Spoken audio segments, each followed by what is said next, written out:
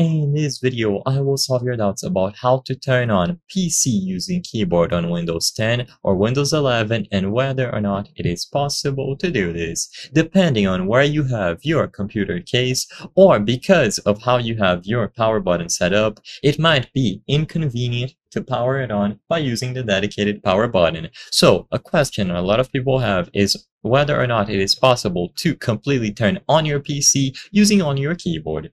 So in this video, I want to present two solutions to this question. The direct answer is that no, it is not possible for you to turn on your PC fully if it is completely powered off using only your keyboard. However, there are alternatives that you might want to explore, but if all you wanted was the question, the answer to the question in the title of this video, then there it is. It is not possible for you to fully power on your PC using only the keyboard. What you can do is first right-click the Windows icon, go to Device Manager, and in here under Keyboards, right-click any of them that you see, go into Properties, Power Management, and enable this option. Allows this device to wake the computer. You can do this with every single keyboard that you see listed.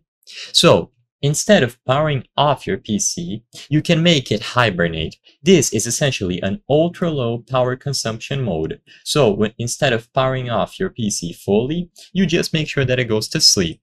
This way, you can press any button on the keyboard or even move your mouse and it will automatically wake up. So whenever you go to power it off, you have to choose sleep. But of course, if you want it fully powered off, then sadly this won't solve your issue. Then what you can consider instead is to purchase an external power button. You will see that some of these even have the low shape of a keyboard key.